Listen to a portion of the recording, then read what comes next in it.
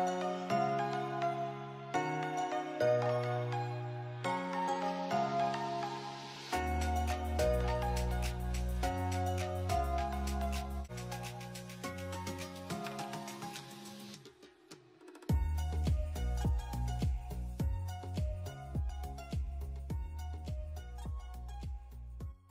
morning and welcome to Daystar TV. This is the Career Scoop, and I am your lovely host, Shekinah Eden Katua. And on to today's show, we are going to be talking about when I grow up versus reality. If you don't understand what I mean, when I grow up means when I grow up, I want to be a doctor, I want to be a nurse, I want to be a pilot, I want to be an engineer. Some of the things that we chose when we were kids, but growing up, we came to change our career choices due to some circumstances. So today we are going to be talking about these situations with a few students that are with me here on set. Karibuni sana. Thank you, thank you. Thank you. Um, so if you don't mind, we shall start with you guys introducing yourself. We can start with you. Uh, I go by the name Cedric Bindo, aka Jaquan, student here in this university. Something amazing. Uh, my name is Lanoy Neresia Leparako, and yes, Wow, I these names, these names I am seeing here, they are just out of this world. Thank you so much for joining me. It's such a pleasure to have you here, and I love interacting with students as well because we relate well with what happens on the ground, right? yes, yes. But before we start, we went outside to the streets. We were asking people a few questions about their career choices, what they wanted to be when they were growing up. So let's get to it. Hi, Hi, what did you want to be when you grew up? A gangster. A gangster. Yeah, yes. I wanted to be an air hostess. Well, I wanted to be a neurologist. A pilot, definitely. Amazing. And what do you do now? Uh, co- uh, communication, pursuing communication. I feel in electronic media. Currently, I'm doing mass communication. I'm doing psychology. I'm doing communication. Yeah. In what area exactly? Electronic media. What uh, would you say made you change your thoughts? I used to live around uh, gangsters, so I used to think maybe this is the life because most of my friends, their fathers were part of it. So I wanted to grow up and tell those stories instead of being in them because I realized most of them were getting killed, some fall into drugs. So just tell the story instead of being involved to create awareness that there is an alternative life. I changed it because of, let's say, my ambitions just changed as I grew up. I think it's um, the environment I live in. It made me think twice about what I wanted to do. So I just settled for psychology at the end of the day. I thought that it will be wise to first proceed and get a career first before I jump into being a pilot in aviation, okay, because I feel like that's more of a profession than a career. So maybe eventually I'll look into that, you know. Amazing. Thank you so much. Welcome. Welcome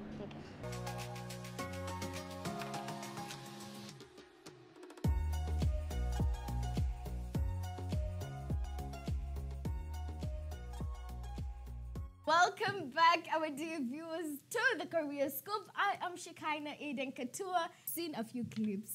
And me, the one that shocked me the most is the guy who said he wanted to be a gangster. Me, I don't know. What was your view when you when you saw that? Like, what was your first view?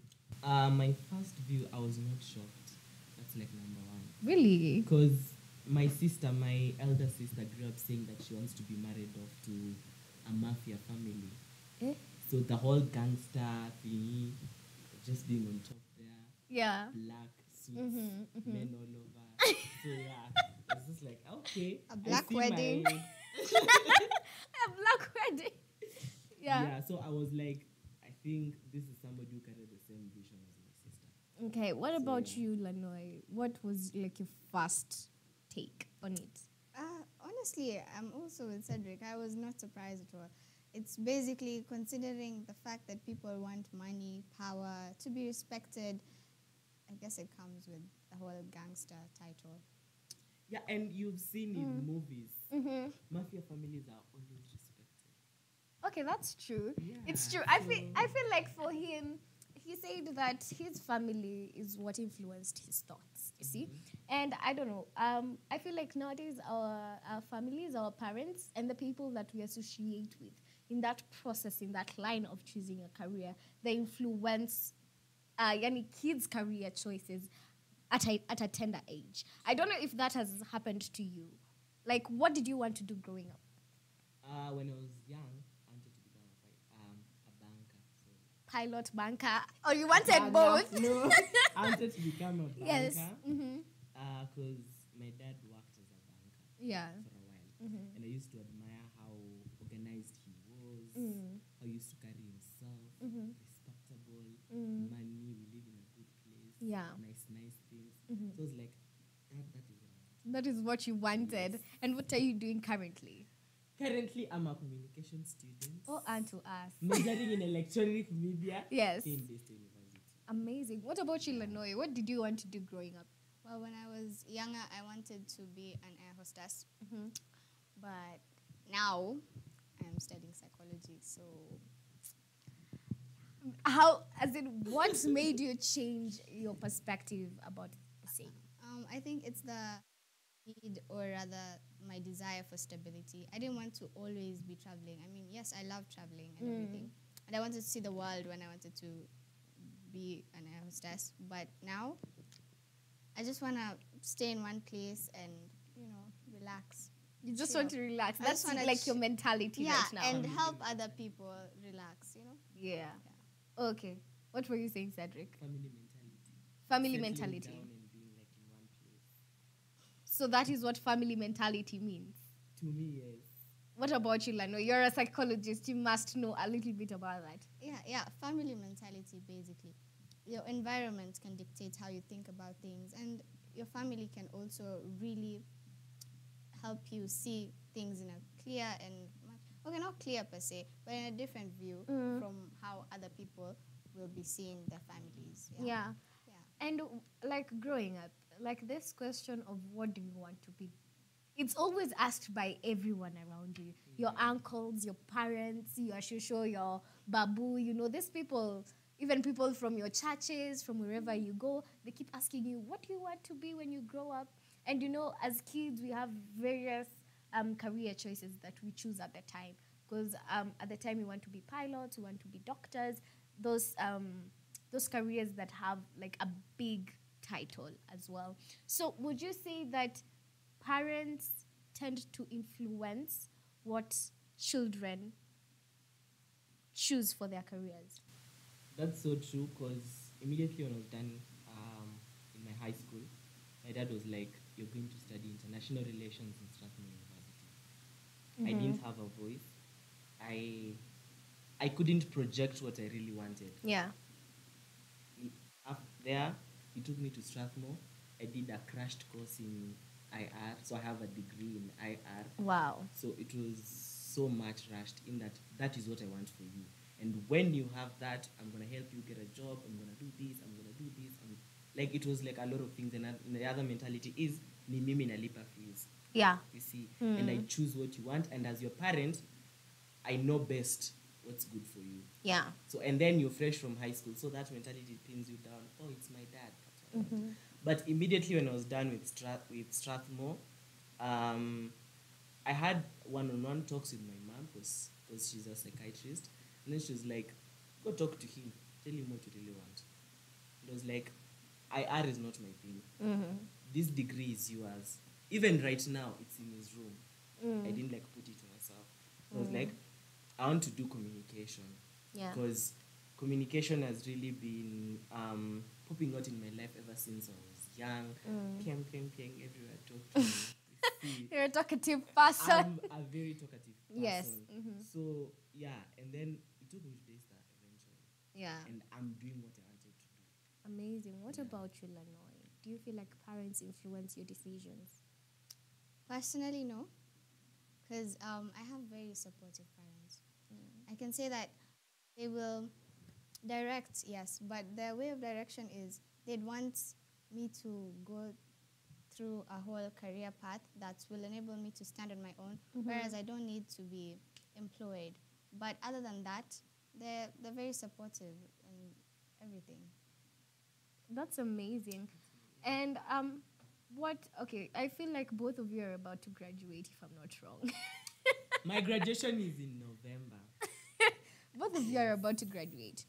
And right now, I feel like you're doing courses that you feel very passionate about. But are you sure that this is the career choice you want?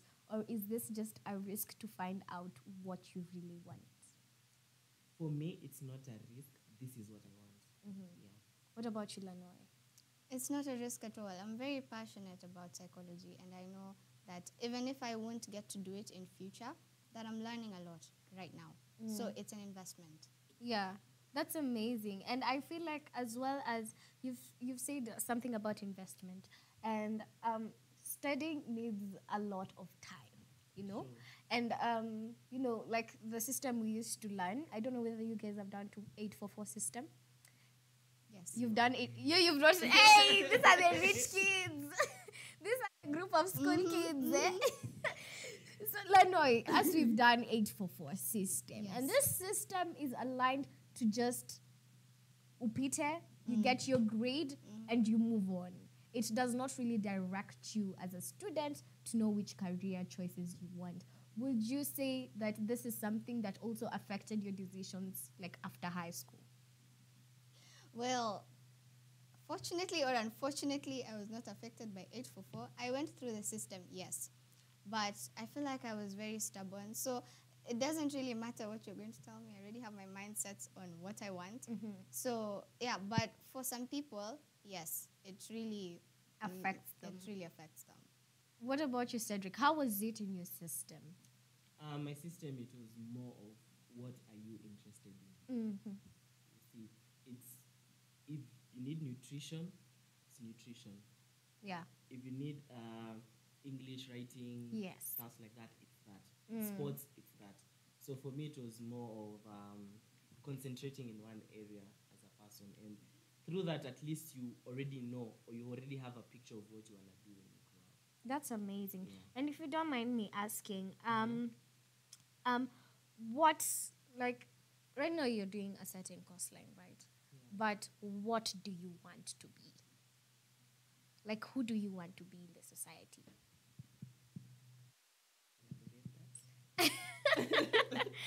I mean, like, um, for example, personally, I'm doing communication, electronic media in specific, and I want to be a journalist. I want to be somebody that is very vocal in the society. I want to change people's perspectives. I want to change the mind that people always have, like the normal thinking of a human being. So, what do you want to be? Um, I really want uh, for my internship. I did as a media analyst, and as an analyst, I, I got to understand there are very many things that are usually misinterpreted in the community, and that entails also social media analyst. So we need to tell our parents, we need to tell the millennials that social media is not the thing that's ruining our kids. Mm. There is also the positive side of it. Mm. I need to be that uh, vocal point Yes. to speak out and show these guys when I analyze this and this, this is a, these are the outcomes that come in, mm. not what our minds were curtailed to think Yes. in a certain way or another. And before I finish, you're already a TV host. Oh my goodness. please. Claim it. Thank you so much. What about you, Lanoy? What do you want to be? Um, I actually want to be a lot of things. Let's just start with the fact that I want to retire by 40. Soft life. Soft life. So, um, if not a psychologist, yes. Okay, other than a psychologist, because I feel like I don't want to limit myself to one thing. I want to be a business lady. I want to be. I want to be a mother. Okay. That's really sweet. Calm down. A mother to cats, okay? To cats and, and dogs. Relax. I'm What? not, I'm not about that life. Now, thing is, um, as as I continue with my psychology career and everything, I'd also want to do business. Yeah, I'd want to enter real estate and invest in this and that. You know, here and Yeah. there. Farm a bit if I- am able. You're you're really you're a very optimistic person. I feel Yeah. like you you have that kind of energy, and I feel like what would you tell somebody that isn't really sure? Because you you look like somebody you've talked and you look like somebody who has already figured it out. Do you think you have figured it out? No, no, there is no figuring out eh, figuring anything out. Yeah. It's just you have to be flexible and open minded to opportunities that can come. Mm. So, for anyone who isn't sure, take your time, find out what you like to do, you know? Yeah. And there's no pressure that by 40 or by 50 you have to have figured it out. There are people who have made it even in their 60s, you know? Yeah. Maybe Raila, you know? We Yeah. never know. May come true. Probably. Let's let's hope for the best on the on the 9th. But back to the topic. Um, growing up, do you feel like there are some things that influenced or that pressured you to choose the course you wanted do? Like um, you said you wanted to be a pilot, a, a banker. Do you think it something pressured you to choose that certain job line? Yeah. And I said it before. It's my dad, his way of life, organization, like organize how he used to organize his things, Yeah. day to day activities, coming home, how serious he is. I used to admire that. I felt like he was a little god that I was looking up and be like, "Ooh, This is what I want. this is what That's amazing. Yes, guys, what did you want to be growing up? What did you want to um, to have growing up? What kind of career did you choose growing up? These are some of the things that need to be talked about because it affects your choices in the future. Reality hits because these things are never really true. Just a 1% of people are the ones that choose the careers they said since they were young. But before we get to that, let's go for a break.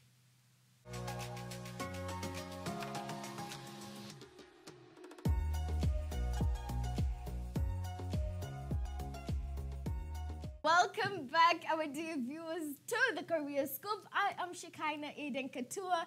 And on set, I have Cedric and Lanoy, and we have elaborated a few things they have experienced personally as students, as young people, and as kids, right? Yes. so we are about to wind up. And I'll just like to ask you just a final question, Cedric. Um, what would you tell somebody that's out there?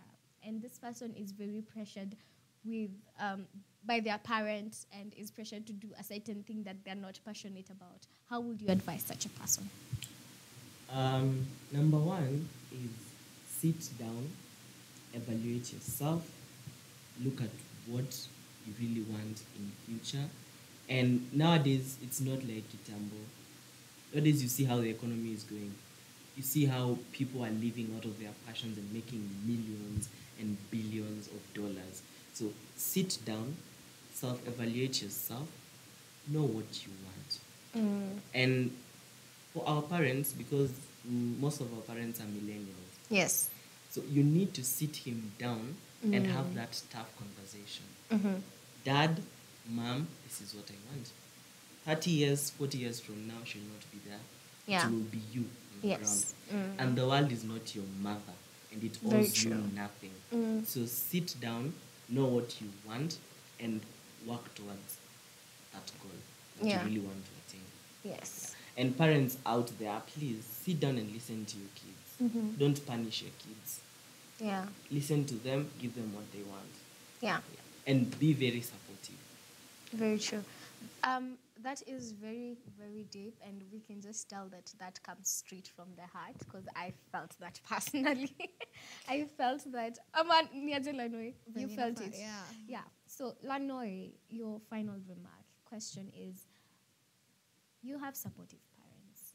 Um, it seems like you figured things out, or maybe you understood where you're going and you understood this is what I want, and you try and grab it as much as you can, right? And how would you advise somebody? This person knows where they want to go, but they're not confident enough to face that challenge that comes with it. How would you advise such a person? Um, okay. The first solution that I can give to anybody is pray fast. Pray about it. Because by the end, when you were being created, there was purpose that was given to you. And your career might be in line with your purpose. Because personally, mine is, I know.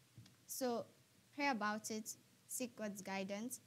Then also, back to what Cedric said, have the tough conversation with the parents because at some point they will understand. They want the best for you and if they can see where your intention is coming from as well, then they'll be able to understand you because parents do love their kids. Very true. You guys are very candid, and I thank you so much for joining me for this show. It's such a pleasure to have you here, and I hope to have you again and again. Thank you for the well. Yes, thank you so much. Karibuni. That was it for this show. Don't forget the necessary things that have been said today. And don't forget to map out your future is to map out your career. The decision is yours and that sticks to you. Guys, that was it. And I can't wait to meet up with you guys on the next show next week, same time, same place.